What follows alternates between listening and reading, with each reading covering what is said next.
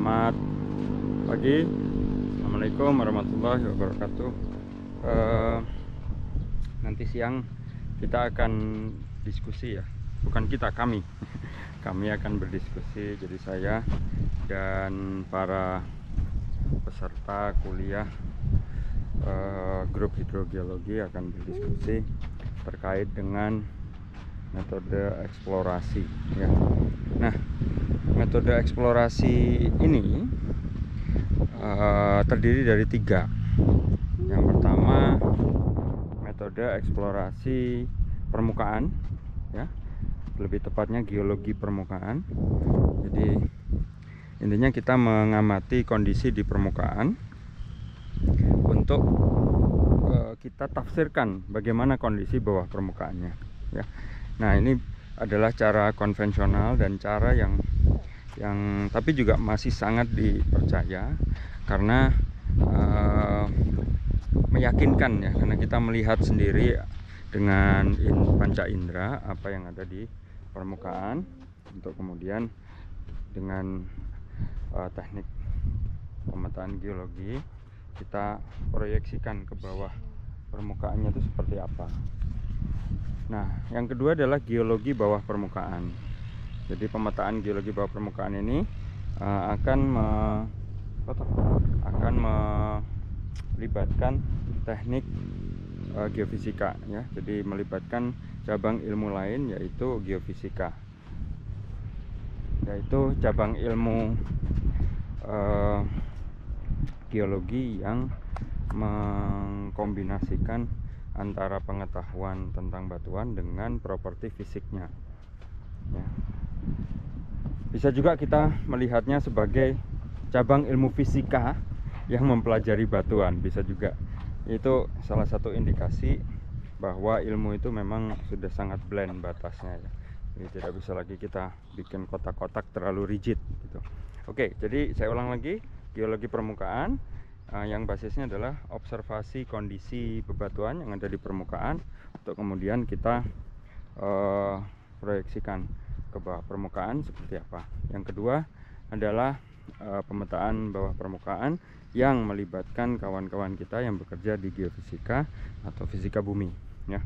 Nah, untuk cara yang kedua ini kita banyak menggunakan uh, sifat fisik batuan yang kita baca dari permukaan ya jadi permukaannya itu bisa saja tidak ada singkapan batuan tetapi kita tetap bisa me mengetahui di bawah permukaan seperti apa kondisinya dengan cara menginjeksikan uh, bisa sinyal suara bisa sinyal listrik gitu ya.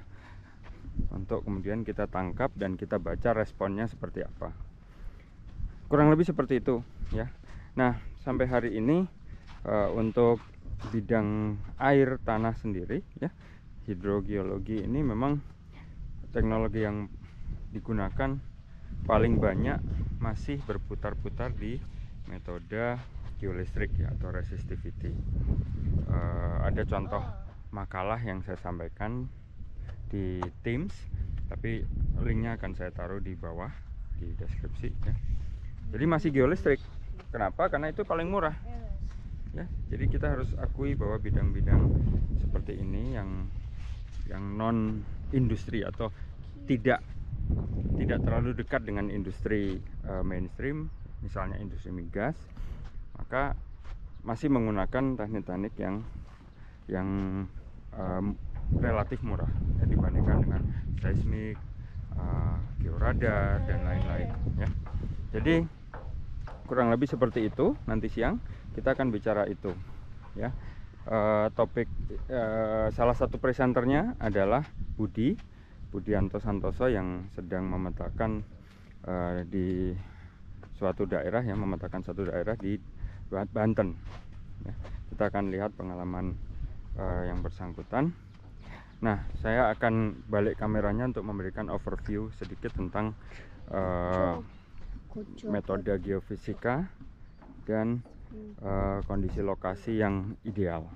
Ya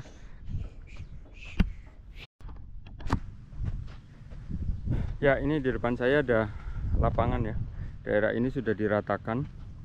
Yang nantinya akan jadi uh, lokasi uh, saya kurang tahu apakah ini untuk perumahan atau untuk area komersial ya. Intinya sudah diratakan. Nah kondisi ideal untuk metode geolistrik itu ya kurang lebih seperti ini ya.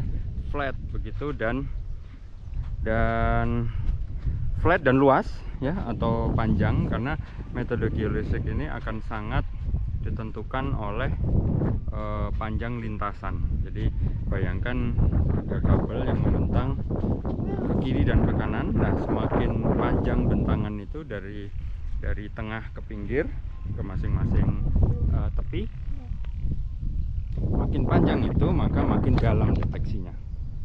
Jadi kurang lebih seperti itu prinsipnya.